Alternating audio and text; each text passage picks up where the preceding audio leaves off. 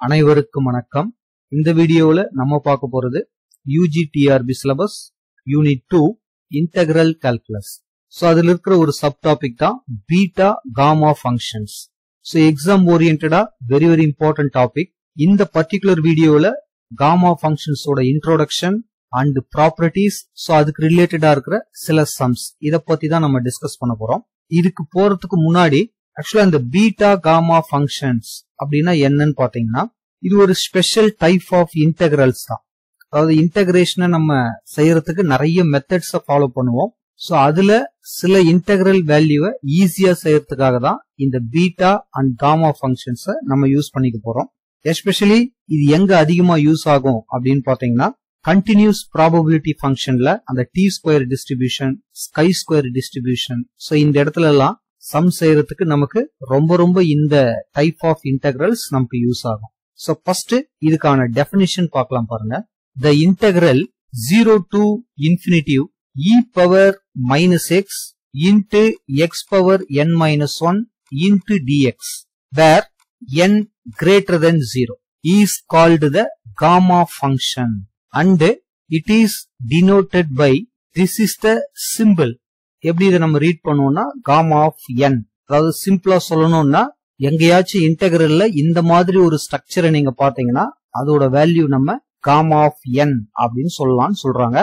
So இதுல என்னென்ன இருக்கணும் அப்படின்னு பாத்தீங்கன்னா that is this gamma of n which is equal to limit கண்டிப்பா ஜீரோ டு இன்ஃபினிட்டிவா இருக்கணும். எக்ஸ்போன்ஷனல் ஃபங்க்ஷன் அதுவும் e power minus x minus a x இந்த மாதிரி ஸ்ட்ரக்சரா இருக்கணும். நெக்ஸ்ட் ஒரு algebraic function x power n minus one என்னங்கிறது பாசிட்டிவ் நம்பரா இருக்கணும். இன்டு டிஎக்ஸ் ஸோ இந்த ஸ்ட்ரக்சர்ல இருக்கும்போது இதுக்கான வேல்யூவை நம்ம காமா என் அப்படின்னு சப்ஸ்டிட் பண்ணிக்கலாம். அதாவது ஒரு எக்ஸாம்பிளுக்கு ஒரு சம் பாருங்க.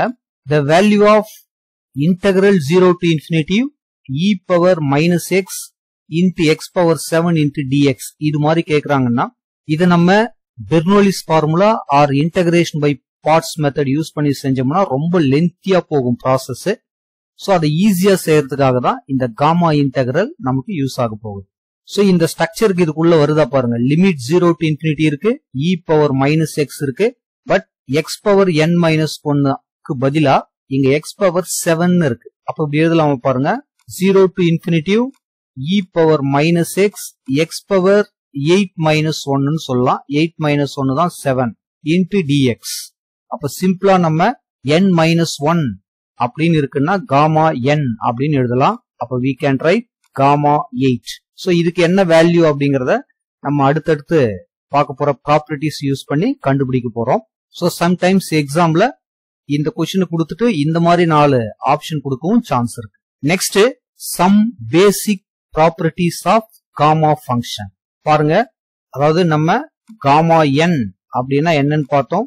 Integral zero to infinitive e power minus x x power n minus one into dx பார்த்தோம். ஒருவேளை first property number one gamma of one என்னவா இருக்கும் அப்படின்னு பாத்தீங்கன்னா one next property number two gamma of n plus one this is equal to n into gamma n அப்படின்னு எழுதலாம். இதுக்கெல்லாம் proof தேவைப்பட்டா நம்ம ப்ரூஃப் பண்ணிக்கலாம். பட் இந்த ரிசல்ட் எல்லாமே நமக்கு ஞாபகம் இருக்கணும் கண்டிப்பா.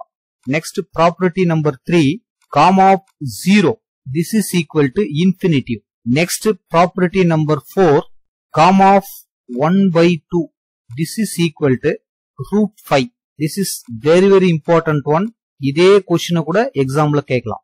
Next fifth one this gamma of n அப்படிங்கிறது ஆக்சுவலா என்ன அப்படின்னு பாத்தீங்கன்னா this is n minus one factorial இதுதான் இதோட வேல்யூ ஸோ இங்க இங்க இருக்கிறது தான் basic properties of gamma function so தேவைப்பட்டா இதெல்லாம் ப்ரூவ் பண்ணலாம் பாருங்க. ஃபர்ஸ்ட் வேணா பாருங்க. அதாவது எக்ஸாம்ல நம்ம இதை ப்ரூவ் பண்ணி செய்யணும்ன்ற அவசியம் கிடையாது. கண்டிப்பா இந்த ரிசல்ட்டை ஞாபகம் வச்சிருக்கணும். ஸோ அதுதான் இப்போ எப்படி வருது அப்படின்னு சும்மா ஒரு டூ டூ மினிட்ஸ் யூஸ் பண்ணோம்னா கண்டிப்பா நம்மளால செய்ய முடியும். பாருங்க. ஃபர்ஸ்ட் நம்மளை பொறுத்த வரைக்கும் காமா என் அப்படிங்கிறது இந்த இன்டெகிரல தான் காமா என் அப்படின்னு சொல்றோம். ஸோ இந்த என்னோட பிளேஸ்ல ஒன் அப்படின்னு கொடுத்தா என்ன ஆகுது பாருங்க. This is equal to integral zero to infinitive e power minus x x power என்னோட பிளேஸ்ல ஒன் கொடுத்தீங்கன்னா ஒன் மைனஸ் ஒன் ஜீரோ ஆயிடும். Into dx so this is equal to integral zero to infinitive e power minus x into dx x power zero ஒன்னு கிடைச்சிடும். Next நம்ம as usual integration பண்ணலாம். E power minus எக்ஸ்க்கான integration e power minus x by minus one limit zero to infinity next minus one வெளியே எடுத்துக்கலாம். Upper limit lower limit apply பண்ணீங்கன்னா e power minus infinitive minus e power ஜீரோன்னு கிடைக்கும். This is equal to minus one into e power minus infinitive value நமக்கு zero e power ஜீரோங்கிறது ஒன்னு so ஃபைனலா answer minus into minus plus ஒன்னு கிடைக்கும். So gamma of one this is equal to one அப்படின்னு கிடைச்சிருக்கு. Next property number two so இதை நம்ம அடிக்கடி யூஸ் பண்ண போறோம். ஸோ எப்படி இது கிடைக்குது அப்படின்னு பார்க்கலாம் பாருங்க. ஸோ நம்மளை பொறுத்த வரைக்கும் காமா என்னுக்கு தான் நமக்கு ஃபார்முலா தெரியும். Integral zero to infinitive exponential function மைனஸ்ல இருக்கணும். Algebraic function n minus one இந்த ஸ்ட்ரக்சர்ல இருக்கணும் இன்டு டிஎக்ஸ் இந்த இன்டகிரலோட வேல்யூ தான் நம்ம காமா என் அப்படின்னு சொல்லியிருக்கிறோம். இப்ப நமக்கு காமா ஆஃப் என் பிளஸ் ஒன்னு வேணும். So integral zero to infinitive e power minus x இங்க இருக்கிற என்னோட பிளேஸ்ல என் பிளஸ் ஒன் அப்படின்னு சப்ஸ்டிட் பண்றீங்க. So x power n plus one minus one into dx கிடைக்கும். Minus one plus one cancel ஆயிடும். ஸோ ஃபைனலா integral zero to infinitive e power minus x x power n into dx கிடைக்கும். So நமக்கு தெரியும் as usual formation integration by parts method அதாவது integral u dv இது மாதிரி இருக்குன்னா uv minus integral v into du அப்படின்னு எழுதுவோம். இதுல எதை டிஃபரன்ஷியேட் பண்ணா ஜீரோ ஆகுமோ அதை யூன்னு எடுத்துப்போம். அதே மாதிரி நம்ம டிவின்னு எடுக்கிற அந்த ஃபங்க்ஷனுக்கு கண்டிப்பா நமக்கு இன்டகரல் வேல்யூ தெரியணும். ஸோ இங்க ரெண்டுத்துக்குமே நமக்கு இன்டகரேஷனும் தெரியும் டிஃபரன்சியேஷனும் தெரியும். ஸோ அதனால அல்ஜிப்ரிக் ஃபங்க்ஷனை நம்ம யூன்னு எடுப்போம். That is x power n next நமக்கு டியூ வேணும். டியூ அப்படின்னு எழுதுனீங்கன்னா n into x power n minus one into dx next integral டிவியோட பிளேஸ்ல integral e power minus x into டிஎக்ஸ்னு இருக்கு. Integral டிவினா v this is equal to e power minus எக்ஸ்க்கு integration e power minus x by minus one so இந்த ஃபார்முலாவில் apply பண்ணுங்க. This is equal to uv யூங்கிறது x power N விங்கிறது e power minus x by minus one limit zero to infinity next minus integral v into du e power minus x divided by minus one du என்ன இருக்கு பாருங்க? N into x power n minus one into dx இருக்கு.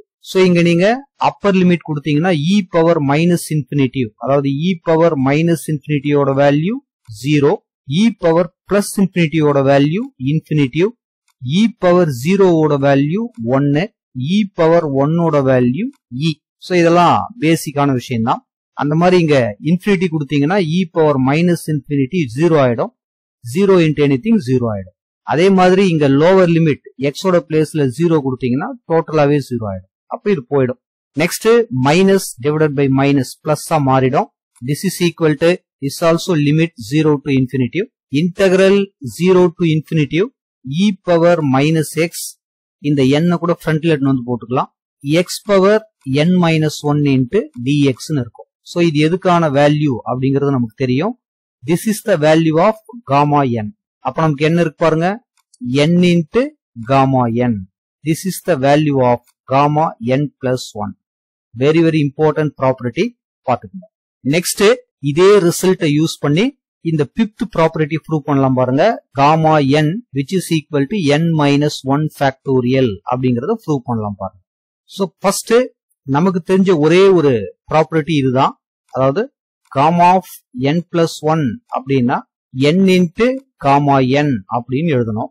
Next ஒருவேளை gamma n அப்படின்னு இருந்தா இங்க என்ன answer வரும் பாருங்க. அதாவது இங்க என் பிளஸ் ஒன் அப்படின்னு இருந்தா இங்கிருந்து ஒன்னு சப்ட்ராக்ட் ஆயிட்டு அதே டேர்ம் உள்ள வந்திருக்குது. அப்ப நமக்கு n minus one into gamma of n minus one அப்படின்னு கிடைக்கும். ஒருவேளை காமா ஆஃப் என் மைனஸ் ஒன்னு இருந்தா that is n minus two into gamma of n minus டூன்னு கிடைக்கும். ஸோ எக்ஸெட்ரா இது மாதிரி போயிட்டே இருக்கும். ஸோ அப்போ நம்ம சிம்பிளா this gamma of n plus one அப்படின்னு இருக்குன்னா இதுல இருந்து ஒன்னு சப்ட்ராக்ட் பண்ணி அதாவது என் இன்ட்டு நெக்ஸ்ட் டேர்ம் இத இது மாதிரி ஸ்பிளிட் பண்ணலாம். அதாவது n minus one next n minus one இது மாதிரி ஸ்பிளிட் பண்ணலாம். That is n minus two etcetera இது மாதிரி போயிட்டே இருக்கும். என்னங்கிறது ஒரு பர்டிகுலர் வேல்யூ டென் அப்படின்னா இது மாதிரி ஒரு நைன் டேர்ம்ஸ் போகும். ஸோ அப்போ லாஸ்ட் டேர்ம் கண்டிப்பா நமக்கு ஒன் இன்ட்டு காமா ஒன் அப்படின்னு கிடைக்கும். ஸோ காமா ஒன்னோட வேல்யூ ஒன்னு நம்ம பார்த்துருக்குறோம். ஸோ ஒன்னு இதுக்கு முன்னாடி ஒரு டேர்ம் இருந்ததுன்னா கண்டிப்பா டூ எக்ஸெட்ரா அப்படி போயிட்டே இருக்குது. So n minus one into n வரைக்கும் வருது. ஸோ இது எதுக்கான வேல்யூ அப்படின்றது உங்களுக்கு தெரியும். That is factorial n the continued product of first n natural numbers so அப்போ gamma of n plus one அப்படின்னா இதை விட ஒன்னு கம்மியா ஃபேக்டோரியல் அதை நம்ம எழுதிக்கலாம். The same way gamma of n அப்படின்னு இருந்தா இதை விட ஒன்னு கம்மியா நம்ம ஃபேக்டோரியல் எழுதிக்கலாம். That is n minus one factorial அப்படின்னு எழுதலாம். So this is very very important property பாத்துக்கங்க நெக்ஸ்ட் இந்த தேர்ட் ப்ராப்பர்ட்டி பாருங்க. காம் ஆஃப் ஜீரோ அப்படின்னா இன்ஃபினிட்டிவ் அப்படின்னு எப்படி சொல்றோம்? ஸோ இப்பதான் நம்ம இந்த செகண்ட் ரிசல்ட் பார்த்திருக்கிறோம். அதாவது gamma of n plus one அப்படின்னா we can write n into gamma n next இந்த எண்ணை இந்த சைடு கொண்டு வந்துருங்க. So gamma of n plus one by n this is equal to gamma of என்னு இருக்கும். இப்போ நமக்கு காமா ஆஃப் ஜீரோவுக்கு தான் வேல்யூ வேணும்னு பார்த்துருக்குறோம். ஸோ என்னோட பிளேஸ்ல ஜீரோன்னு கொடுங்க. ஸோ என்ன ஆகும் பாருங்க? நியூமரேட்டரை பொறுத்த வரைக்கும் காமா ஒன் பை ஜீரோன்னு கிடைக்கும். This is equal to gamma of ஜீரோன்னு கிடைக்கும். ஸோ காமா ஆஃப் ஒன் அப்படின்னா ஒன்னு பார்த்துருக்கிறோம். ஸோ ஒன் பை ஜீரோ அப்படிங்கிறது not define that is gamma of zero equal to infinitive அப்படின்னு கிடைக்கும். ஸோ இந்த gamma of one by two equal to root five அப்படிங்கிற இந்த property very very important one but இது பீட்டா ஃபங்க்ஷன் பார்த்த பிறகுதான் இதை நம்மளால ப்ரூவ் பண்ண முடியும். ஸோ அப்போ இதோட ப்ரூஃப் நமக்கு தேவைப்பட்டா நெக்ஸ்ட் வீடியோவில் பார்த்துக்கலாம். ஸோ அதுக்கு முன்னாடி இந்த பர்டிகுலர் டாபிக்ல இன்னும் சில இன்ஃபர்மேஷன் இருக்கு. அதையும் நம்ம பார்த்துட்டு இந்த வீடியோ என் பண்ணலாம் பாருங்க. Next another form of gamma function அதாவது ஃபர்ஸ்ட் காமா ஆஃப் என் அப்படின்னா இது மாதிரி பார்த்தோம்.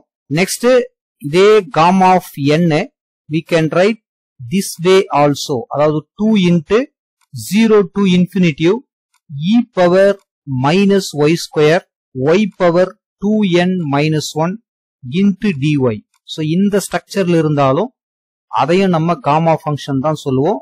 ஸோ இதுல இருந்து தான் இதை நம்ம டெரே பண்ணலாம். X equal to y square அப்படின்னு சப்ஸ்ட் பண்ணீங்கன்னா. நெக்ஸ்ட் இன்னொரு ஃபார்மேஷன் இருக்கு.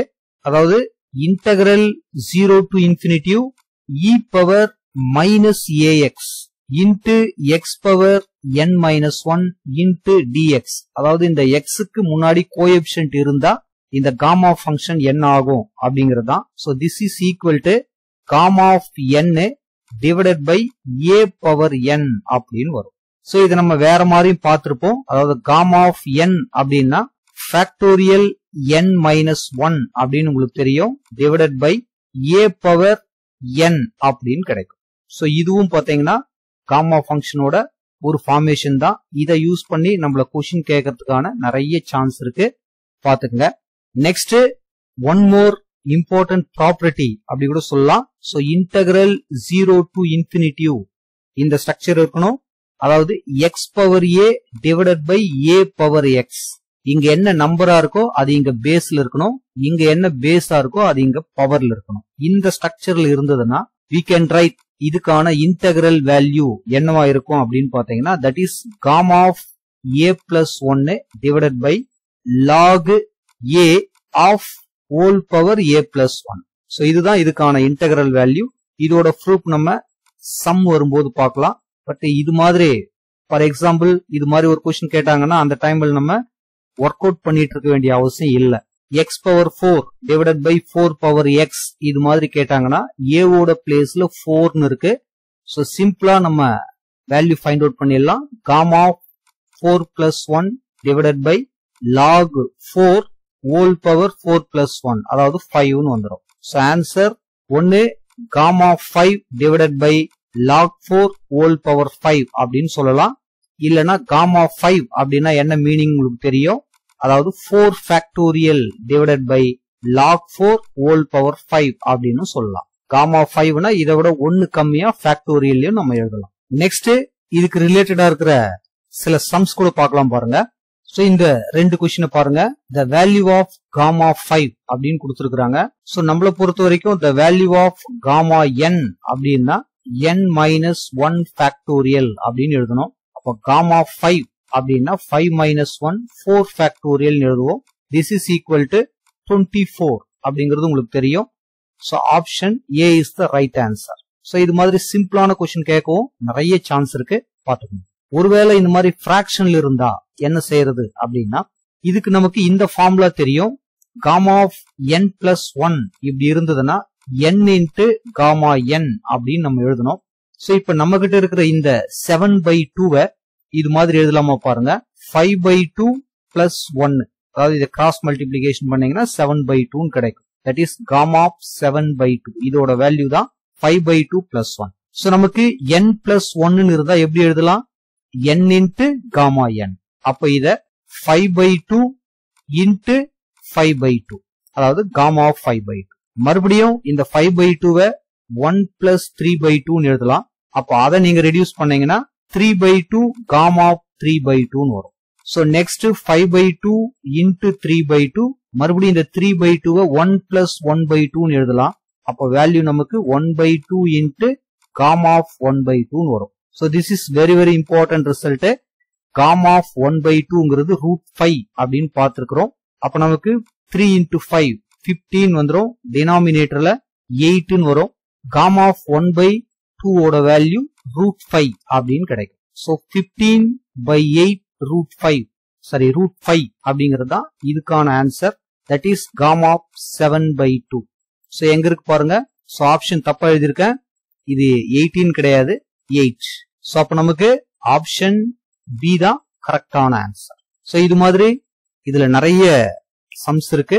ஸோ இதை நம்ம அடுத்தடுத்து வர வீடியோஸ்ல டிஸ்கஸ் பண்ணலாம்.